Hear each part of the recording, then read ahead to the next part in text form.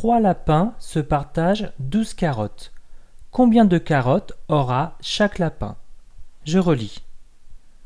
Trois lapins se partagent 12 carottes.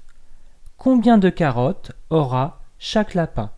Si tu veux, tu peux représenter la situation en dessinant rapidement les trois lapins et les 12 carottes. Tu appuies sur pause. Je vais lire le problème suivant. À la crèche, 5 bébés se partagent 15 doudous. Combien de doudous aura chaque bébé? Je relis. À la crèche, 5 bébés se partagent 15 doudous. Combien de doudous aura chaque bébé?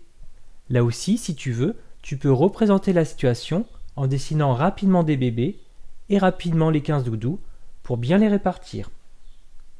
J'aimerais que tu donnes au moins une réponse chiffrée.